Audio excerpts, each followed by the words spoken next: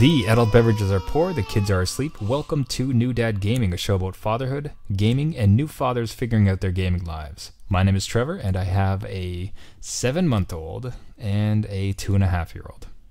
And I'm Jeff. I have a seven year old and a four and a half year old, almost five year old. Yeah, I mean, like seven months, seven year. same same ball game, right? Basically. Oh, he's so close to a year. It's it's ha- it's coming up. How how is it already a year? Like I- I'm so confused. now comes the fun part where you have to have a birthday party that's different from your first. Ah. there was the the other son's birthday is coming up actually, and the daycare is going at all the other kids go nuts. So they'll Oh. have Paw Patrol theme, they'll have a Frozen theme, and now they're kind of looking at me, and it's like, hey, what's your theme gonna be? and I was thinking, popsicle stick in a plastic bag. How's you get a popsicle stick, and you get a popsicle stick. Enjoy. This is, this is an amazing theme.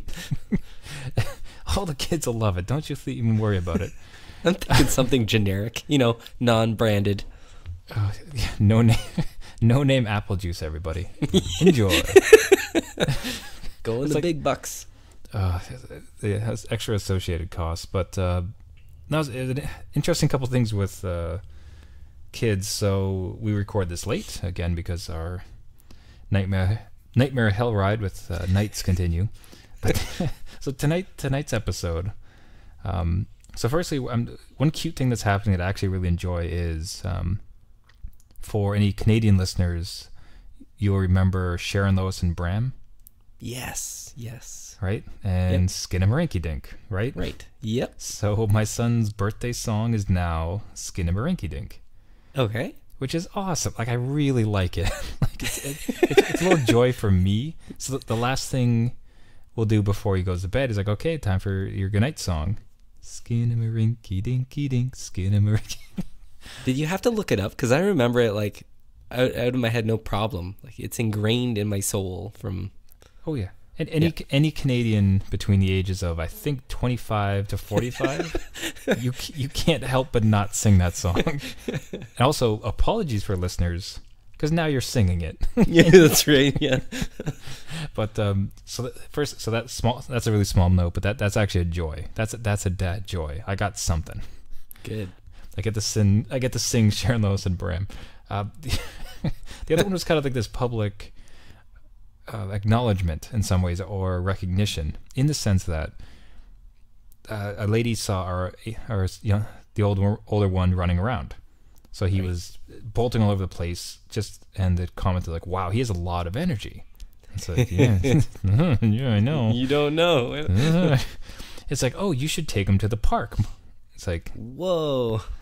and it's like, huh, is that, that, it, I'll say sorry, and I, I, that came out wrong. She wasn't really condescending. Oh, it was Okay. more just like, uh, it's like, oh, yeah, I mean, do you take him to the park? It, it wasn't, yeah, yeah, so it's not that type of story. She wasn't being Okay. mean about it. It's just Okay. more, it's like, so, why don't you, you know, do you take him to the park often? And it's like, I, I've taken him to the park three times today. He's like, oh, oh, okay, well, maybe you should take him to the pool. I'm like, yeah, yeah, I, I, I've taken him to the pool today. I've done also. that. Yeah. She's like, oh, so he he must eat a lot. I'm like, no, no, he doesn't really eat a lot of food. We have a real hard time with that actually. She's like, oh, so he must he must sleep really well. No, no, it doesn't really doesn't seem to go to bed at all.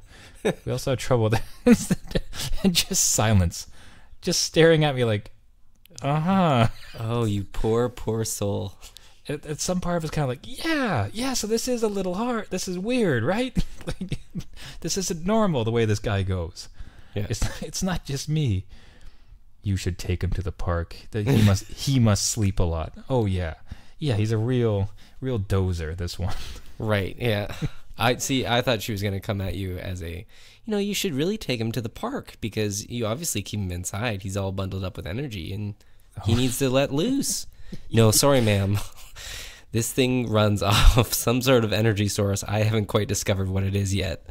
Yeah, we, we have top men looking into this. I assure you. So that was just in, like, as fortunately, it wasn't. It definitely not that type of story. It wasn't the condescending weirdo parent coming in to give me grief. Thankfully, Yeah. Uh, the Second one though was the it's this weird impulse, and I don't know if you've felt this one too. Uh, it's I've kind of mentioned it before, and it continues to develop. But uh, my older son, he's definitely coming into his own with imagination. So he'll grab toys, plays by himself, has a great time. And he's in this, and he's in the park just by himself, sand pit. He's got uh, a couple uh, trucks with him, and he's just rolling around having a great time. Uh, so he's just playing. And I had this weird impulse where it's like, oh, I should really go over and engage him. Right. It, it's, it's time to be. It's time to be a dad. Like I need to go. Yep. Step Okay. up and Gotta interact, and I gotta be in there. Yep. But I kind of stopped myself, and it's like, you know, if I'm if I'm being honest, like my actual approach to this would have been, leave him alone. mm-hmm. like he's he's having imagination. Like I want him to know how to entertain himself, how to play with himself, how to be by himself.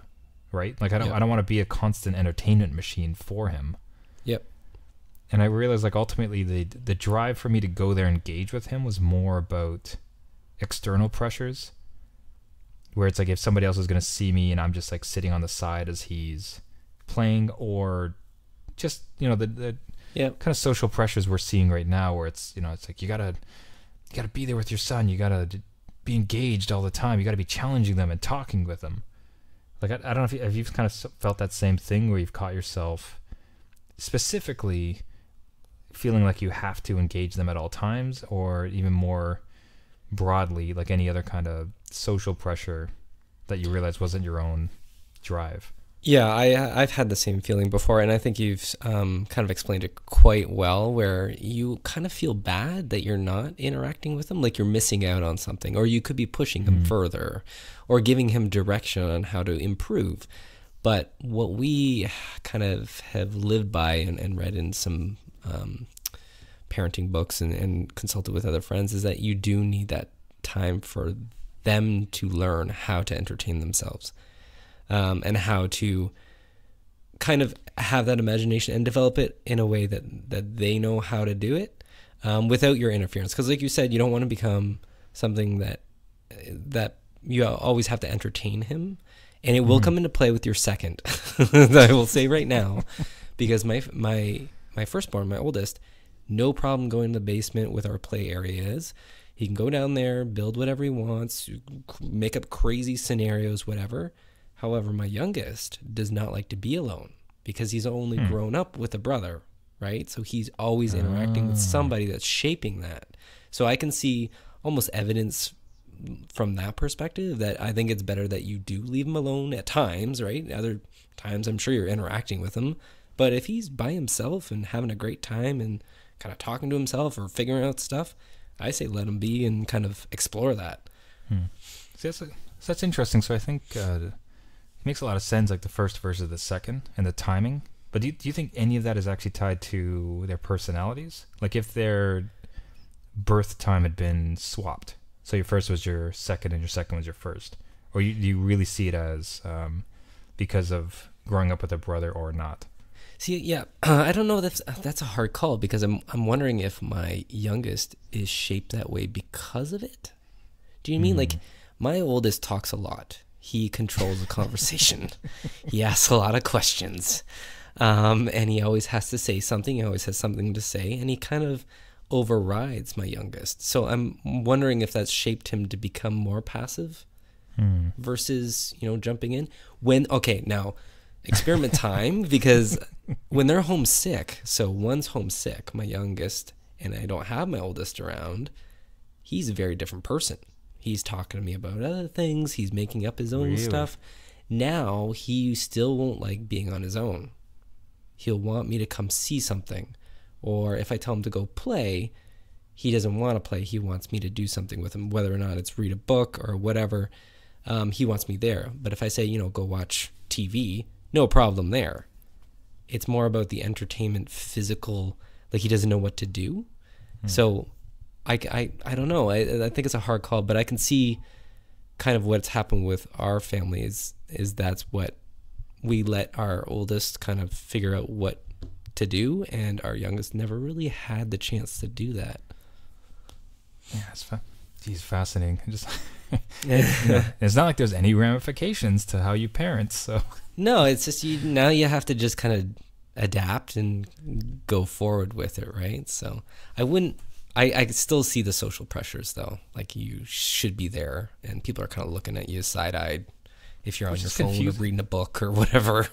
it's a confusing time because I, I don't know if you've ever seen this an image online. I think some parents or teachers giving a presentation, and it's like how to raise a kid like nowadays, and it's take care of their physical and emotional needs as well as ensuring that they're fully developed while not over interacting, ensuring that they're well fed but only of gluten free and healthy fats, but not too much, and you know no sugars, da da da. Right. And then Yeah. for like how how to raise your kids like ten years ago, it's like I don't know, feed them sometimes.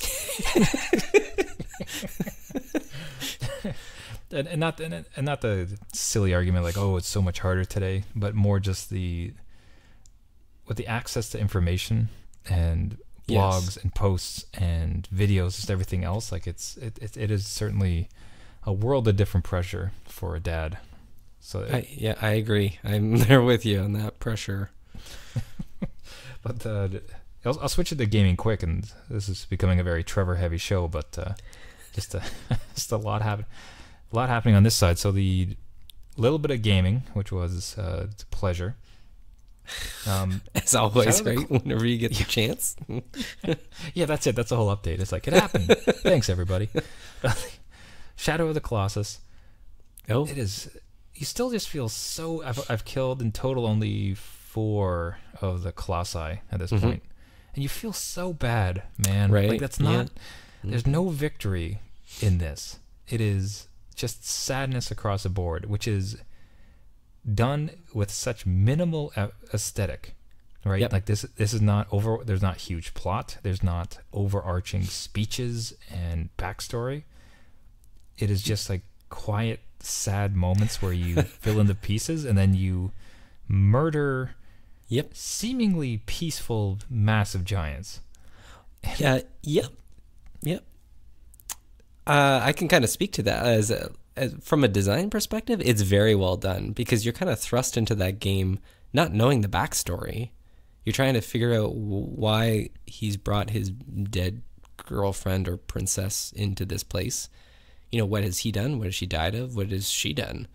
And then a voice says, you know, go kill these colossi. We'll bring her back for you. And you're like, all right.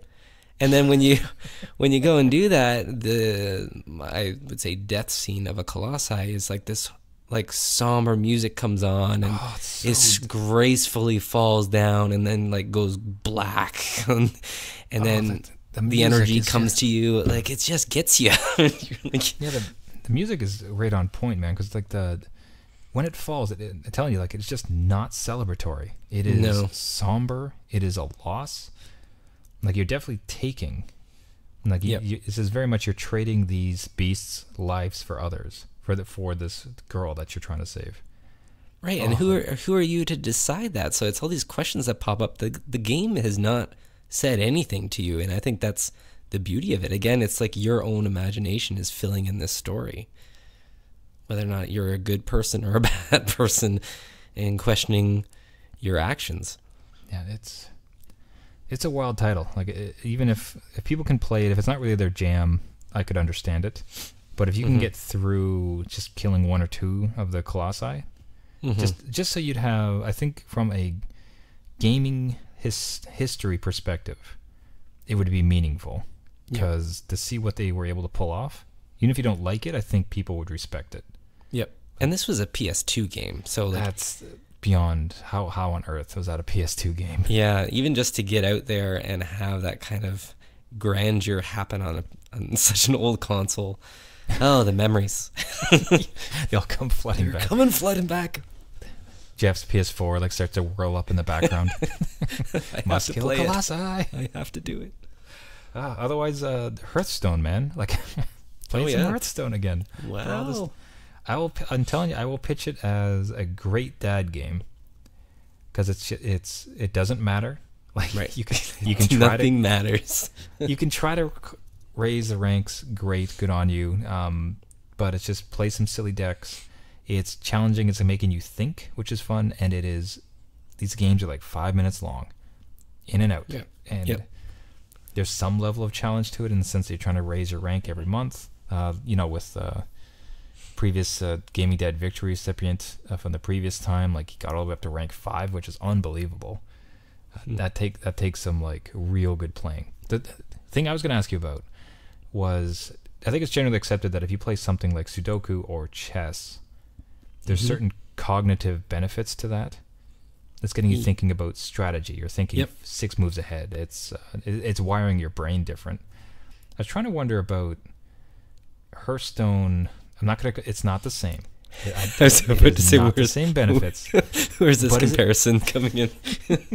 But is it is it of the same realm? Because at least like it is this strategy pieces. It is um, forward thinking and reflexive actions based on how your opponent moves or like against your game plan. Like th- there's like these parts to it, right? Mhm. Like it, like i- is there any basing on that or is it? I, I would? I would say that you there's some sort of base there. I, I relate it to my family and I are playing a lot of deck building board games. So that's Okay. basically that, just Well, digital like what? form. Well, name it. Um, well, there's uh, Dice Throne is the recent one we have. So Mhm. you um, kind of stack your abilities and roll the dice and, and see what abilities you can measure up and play that card. Um, there's another couple ones. Um, Sushi Go is not really deck building, but there's another one called uh, it's like Starfighter or something or Star Realms. Sorry, Star Mhm. Realms, and that's complete deck building where you have to gain units, um, use those units at a certain time. Um, you can gain like space stations that defend those units, and you have to kind of plan ahead on what abilities to use at what time and what's you know defensive, offensive, and crunch numbers as you're doing it. Um, There's a, a bit of randomness to the deck, so you're kind of almost at the mercy of that a little bit. But there is strategy to kind of get around that.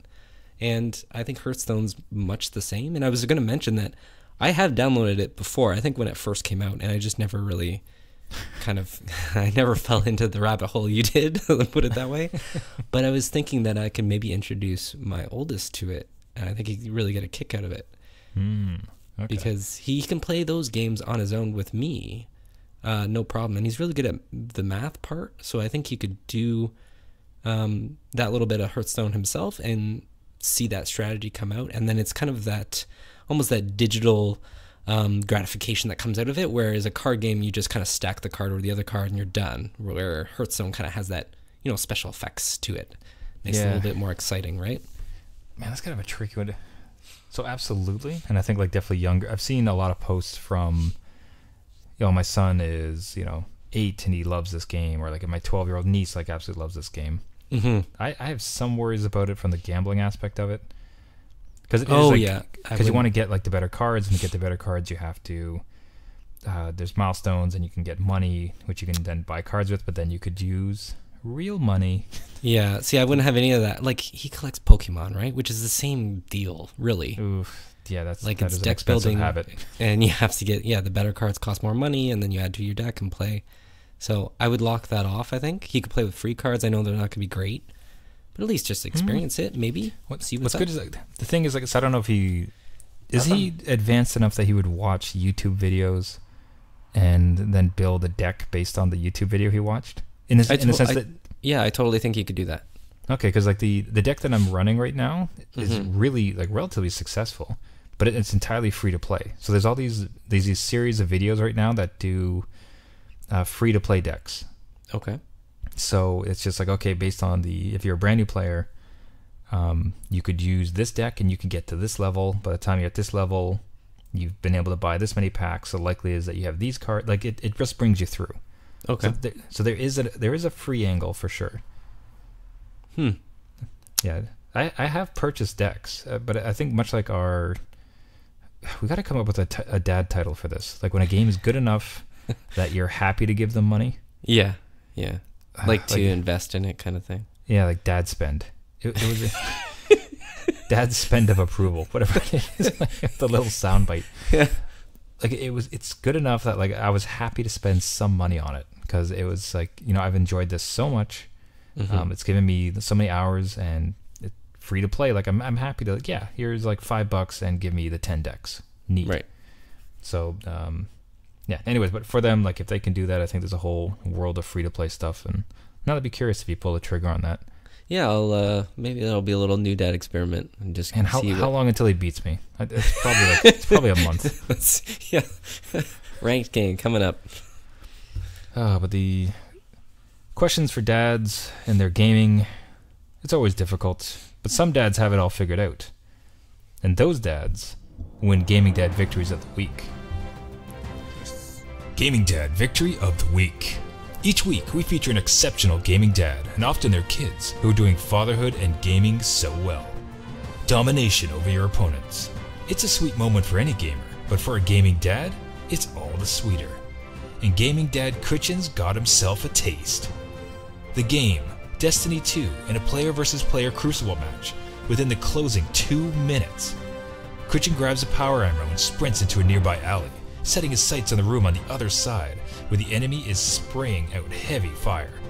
He aims, he waits, and he unleashes his rocket, hurtling it into the enemy space, throwing an explosion that takes not just a life, but produces a team kill, all but securing the victory. The gaming dad's holler can be heard immediately afterwards, savoring his moment, a well deserved celebration of his defeat of his foes. With so little gaming time for a father with little ones needing his attention, grand victories like the one displayed here become all the more meaningful. And it's why Chrichins is a recipient of the Gaming Dad Victory of the Week. If you would like to be nominated for Gaming Dad Victory of the Week or know somebody else deserving, please send along the information to us at our website, newdadgaming.com. And with that, we go to this week's cheat sheet where we run down the highlights of what happened in the world of gaming. Another remaster is on the way. The long anticipated Spyro the Dragon remaster was officially announced by Activision this week. The usual features are all included with new graphics, updated frame rate, but with this one, you get all three retro Spyro titles included, all remastered and redone. You can start controlling the little fire breathing purple dragon this September for PS4, with Xbox and Switch versions coming soon after. And along with Spyro, the all new Spider Man, highly anticipated Spider Man, will be swinging onto the PS4 this September as well. Insomniac has showcased a bunch of clips showing our webbed hero swinging over busy New York streets and teasing more details over the coming days. However, Insomniac has confirmed that there will be absolutely no microtransactions, which is one detail I am proud to make. And the frame rate is locked at 30 on both PS4 Original and the Pro. You can catch this Sony exclusive September 7th. And the award winning CRPG Divinity Original Sin 2 is also making its way from PC to consoles this August. This game will support couch, co op, split screen, and up to four players co op online. If you are in the market for a game that doesn't tell you how to play and allows you to bend the rules of the game world to your liking, Divinity Original Sin 2 might be worth a look. Dads be warned though, I've played the original and I'm clocking in at about 100 hours, so this game can be around the same, so expect to block out some time for you to be able to finish this one. Blizzard has a couple of announcements too. If you're still a fan of World of Warcraft, its seventh expansion, entitled The Battle for Azeroth, now has a release date of August 14th. This new edition promises late game additions to the world as well as new activities like island expeditions and war fronts for players to explore. Blizzard has also announced the next date for the Hearthstone expansion titled Witchwood, which will be launching on April 12th. Witchwood will feature over 130 new cards to collect, and you can pre order now to get access to 70 packs for $50 US. You can also gain yourself a bunch of freebies by logging in anytime between launch and July 10th to claim three free packs and one legendary class card to add to your collection. And an officially licensed Street Fighter board game was announced on Kickstarter just now, where its goal of $400,000 was quickly met and exceeded by rabid fans. The board game, designed by fellow gaming YouTuber Angry Joe, features exquisitely detailed Street Fighter miniatures that will only be available through the Kickstarter and not be going to retail. The game combat uses a combination of cards and dice that determine character movesets that take place on the game board that feature destructible terrain pieces. So if you're a Street Fighter fan and maybe looking to jump into the board game scene, we suggest you check check it out before the Kickstarter closes on May 5th. And on the game release front, I think us gamers got a break from any hard-hitting releases this week, with only the real notable being Skyrim VR is no longer a PSVR exclusive and is now available for PC users to purchase. Yet again, at re- full retail price. Though, from personal experience, I will say it's a must buy for any Skyrim fan with a VR headset. That's the gaming cheat sheet for this week. Catch a nap and tune in next week for another update. I have never played a Spyro game. Oh, you are so. You're in for a treat. Spyro was not childhood for Is me, it? but I don't know. It's PlayStation. Is it that good? was- Like, I, was- like he's I've obviously sorry, like I'll say like I obviously played like a demo of it, or like maybe at a friend's house, like putzed around with it a bit. So it's not like entirely un. Yeah. I just uh, call, call like a definitely under twenty minutes of ever playing a Spyro game. well, it's like, because- did you play Crash Bandicoot? Because it was on that kind of Yeah. level. All right. See, but similar. even that, like I, I had some fun with it, but I don't have like massive happy memories of like, and, and are You- desperately trying to get that back. Well, you need to play this remaster. See what you think of it. It's a platformer, so it, I don't know. It, holds a place in my heart. I need to see the little dragon. I need to fly around. There's frustrating parts. I wonder if, if they've actually fixed them, or if I remember them incorrectly and they weren't as frustrating as what I thought they were. You're just really incompetent as a Yeah, game, exactly. boy gamer. Oh, my reaction time was off or something. I'm like, ah, I can't do it. So, ah, oh man, you need to play them. Yeah, so the Spider-Man, that's fantastic.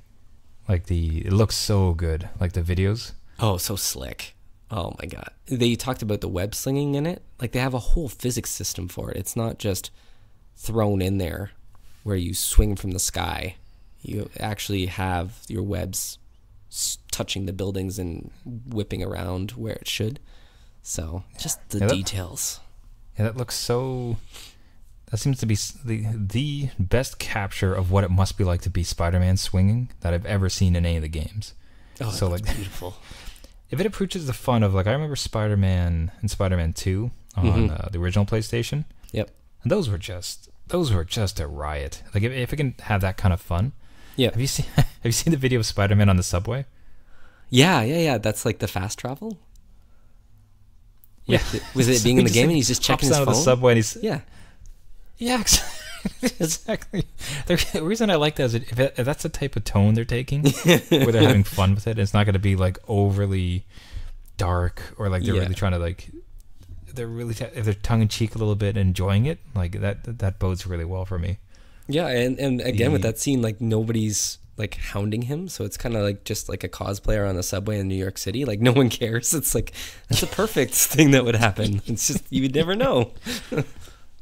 Oh, I hope I hope he has some good quips because like the some of the best Spider-Man games is when he had his one-liners, his jokes. Like it was just it's always a riot. So hopefully those subway scenes especially could be a gold mine for that. um, Insomniac can just email you for dad jokes. So Oh, I'm I'm ready and willing. I got I got a whole series just ready to go whenever you need. The um yeah, Hearthstone, that's cool. Um geez, the price is wild though. So 50 bucks for 70 packs. That's not going to get you everything. So you yeah, I wasn't you- you- sure. The math no, the, see the math is screwed because so it's How many cards did you say were getting launched? 150? Uh, like over that. 130, so Okay, be so- 135. Jeez, so 70 packs. There's like 5 cards in a pack. Oh no. I have but they're math. random, right? That's the thing. Like you're gonna get a lot of. There's no chance you get anywhere close to all of them. Yeah. That many packs. So it's like, you have to almost like double that price if you really wanted all the packs, if all the cards, if you did. Yeah. Which is a pre-order price, so I guess they they go on sale after launch that can be bought separately. But that's- I guess you're saving a bunch doing the pre-order. But 50 US is what? $70 Canadian? Ninety dollars Canadian, ninety dollars Canadian. Yeah. That's golden nugget, I don't know. yeah. So the mm, that's Steep? It's A little definitely- steep for you? oh that's super steep for me. Yeah. I'm not gonna even approach that. No. Espe- espe- The problem is like too like it. I don't mind like a small little hit every now and then when I want to get some extra packs or the adventure packs especially were really fun because Yeah. it's a solo. That's a solo thing that kind of turn. It feels like it turns it into more more of a game in some senses because it's just an adventure that you alone get to do, Okay. not just not just player versus player. Um, but the packs thing is, yeah, like that's that is too. I don't mind a little bit here and there, but that's just like a yearly subscription fee. That's not even a yearly subscription fee because you're not guaranteed the content. Like, Right. that- if it if it was like you pay this and you get all the cards, still no for myself, but you could understand it a bit more. But it's like that. That's just that is very expensive casino chips.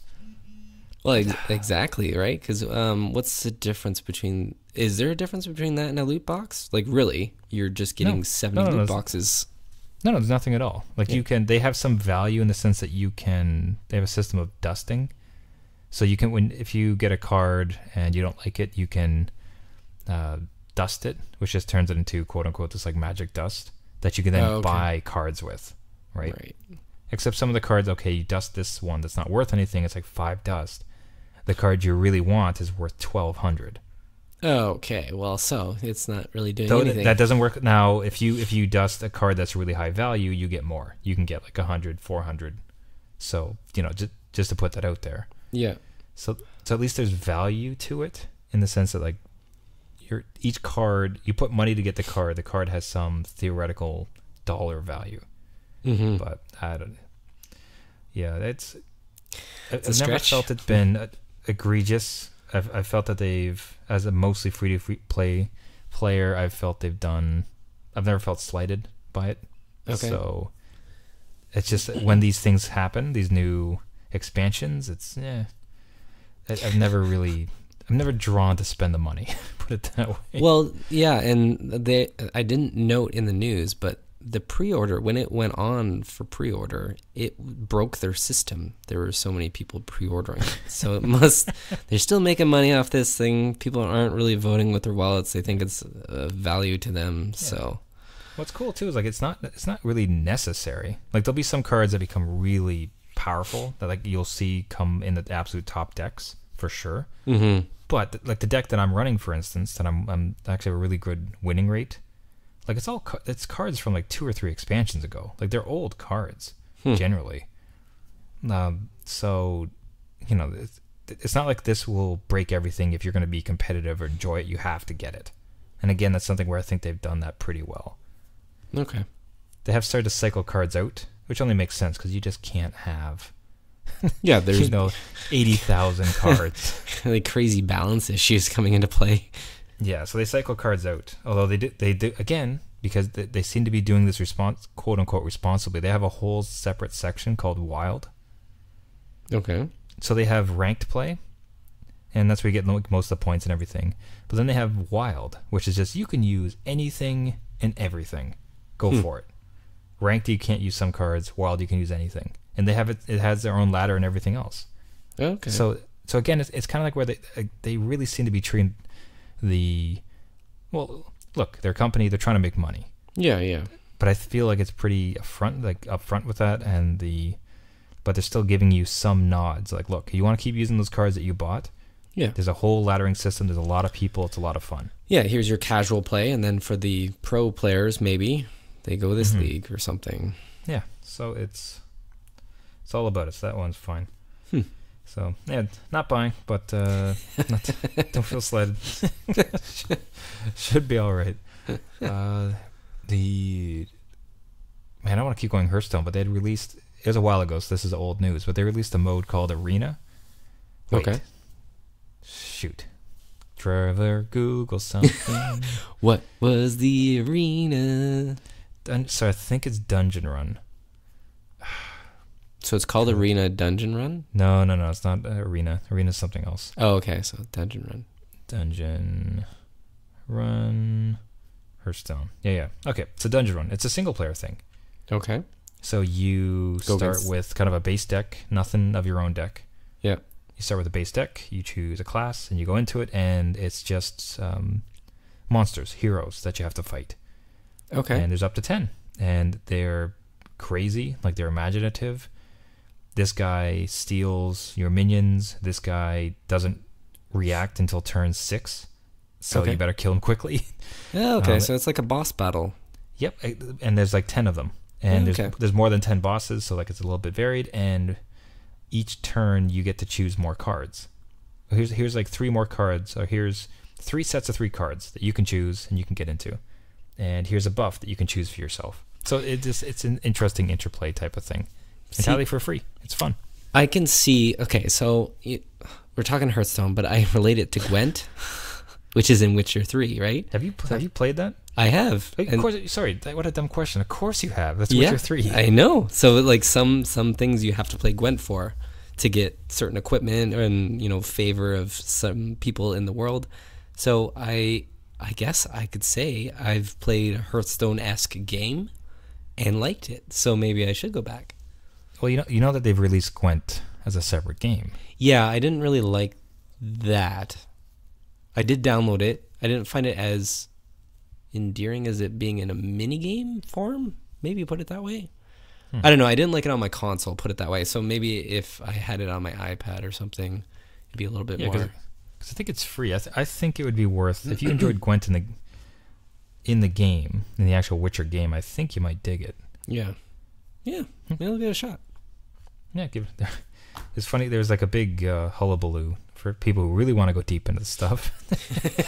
where there's a um, there's a very famous uh, card player slash Hearthstone player called uh, Lifecoach, Okay. and he actually he abandoned he very publicly abandoned Hearthstone for Gwent.